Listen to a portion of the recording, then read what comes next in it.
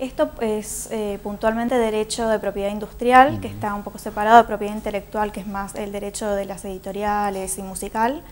Em, esto eh, tiene dos registros que son los principales, son los de marcas y patentes. Patentes también hay otras clases de registros como modelos y diseños. son dos leyes diferentes.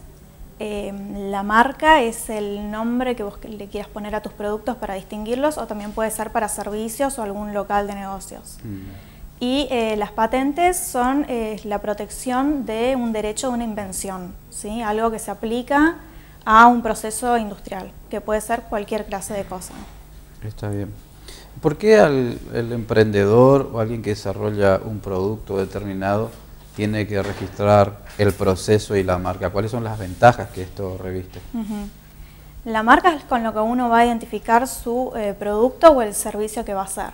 Muchas veces pasa que uno da a conocer su marca eh, con un microemprendimiento, por ahí no tiene en cuenta que le va a ir muy bien, y al ser un nombre que puede ser eh, muy distintivo, que puede ser original, y entonces lo toma alguien, pide el derecho y te gana el derecho.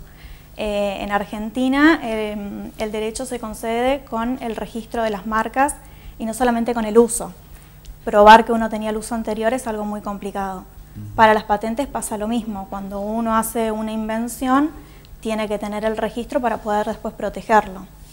¿Sí? Eh, cuando uno tiene el derecho sobre una patente o sobre un invento, eh, después lo que puede hacer es, si otra persona quiere utilizarlo, es darle una licencia, cobrarle por eso, o guardarse uno eh, el monopolio del uso de ese producto y ser el único que lo puede hacer y poner en el mercado. Entonces es muy importante. Son dos cosas distintas. Una es la marca que pertenece a uno y después están las patentes que pueden ser, como decías vos, compartidas, cedidas, eh, en uso podría ser gratuitamente, supongo, o, o por medio de, un canon, de un costo. Sí.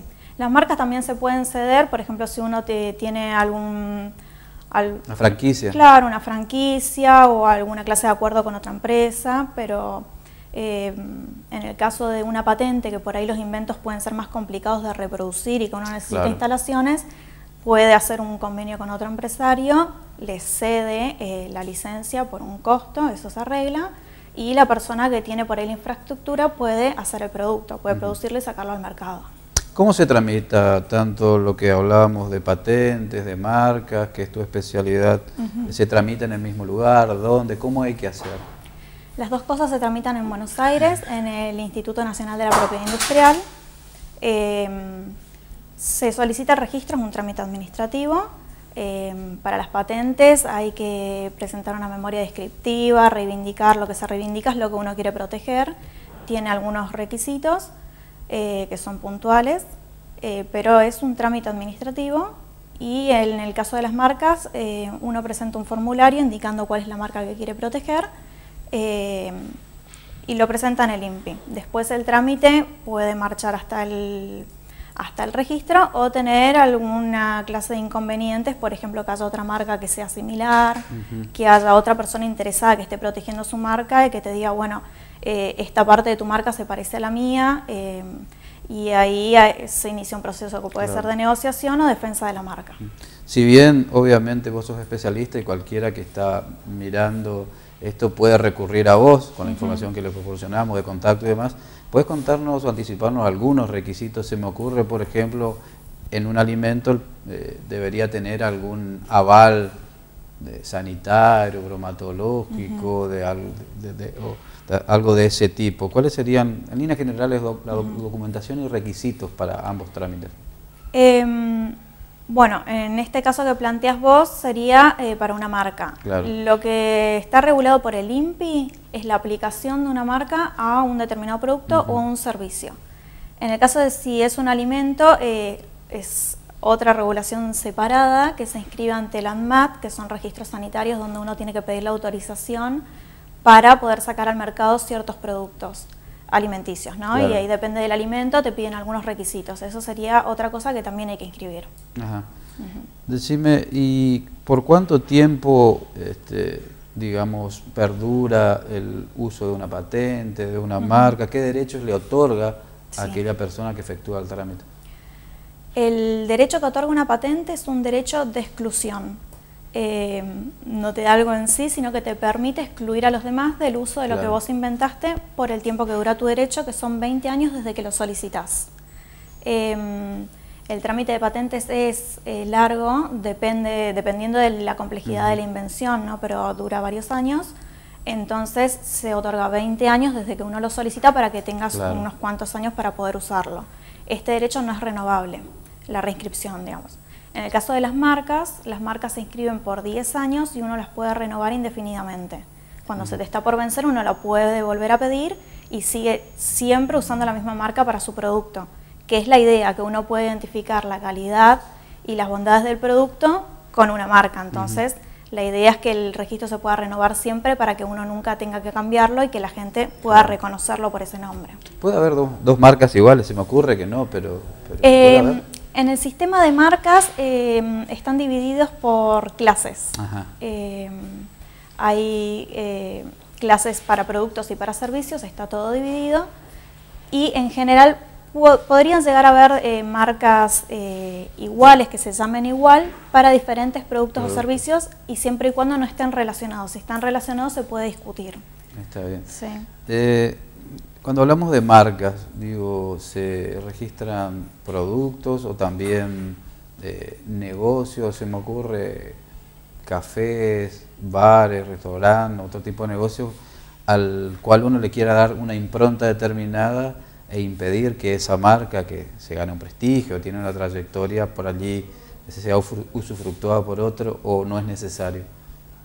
Em, se puede escribir eh, la marca, un eslogan, eh, también se puede llegar a escribir la forma en la que se ve un local eh, para tener esa impronta registrada y que alguien no pueda poner unas características estéticas similares, ¿no es cierto? Que es lo que pasa con las franquicias, que uno tiene en diferentes países o por todo el país y las reconoce por estas características que tienen, no solo el nombre eh, comercial o la marca, sino también la forma eh, en la que está dispuesto el local. Mm. Supongamos que está viendo un emprendedor de misiones de la región, ¿qué es lo primero que tendría que hacer?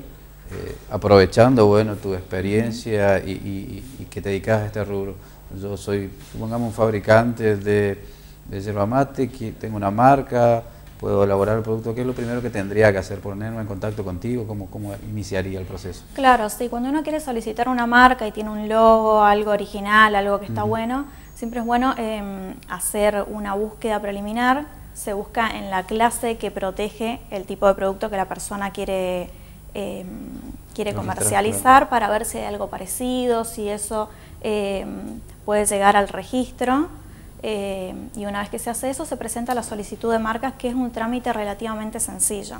Está bueno que la gente decida eh, desde los primeros pasos de su emprendimiento registrar una marca para que eh, no vayan a perder el derecho, porque como te digo, la marca en Argentina es registral, no, es, no se gana el derecho por uso, entonces, donde alguien vio le gustó, puede presentar el registro y el primero que presentó el registro es el que lo va a tener. La última, este, María Eugenia, a partir de tu experiencia, eh, ¿se utiliza mucho esto en el ámbito del emprendedurismo, de los productos? ¿Qué has observado a partir de tu trabajo este, en Buenos Aires, obviamente? Sí, pasa mucho. En Buenos Aires la gente está muy acostumbrada a proteger sus derechos. Eh, en general, hasta incluso los pequeños emprendedores Em, intentan proteger sus derechos. Eh, casi siempre lo primero que uno va a proteger de derechos de su negocio es la marca, porque es la imagen que uno va a tener. Eh, y la gente inicia muchísimo el trámite. La relación costo-beneficio, digamos, este, no hablar de, una cifra determinada de lo que puede salir el trámite, el trámite sino eh, de qué relación costo-beneficio estamos hablando. Supongo que obviamente es mucho más este, redituable para una persona gastarse unos pocos pesos, unos pesos, que perder un negocio, una marca, por no haber invertido inicialmente esto. Sí. Em, el beneficio es muy grande, el costo de tramitar una marca no es muy grande.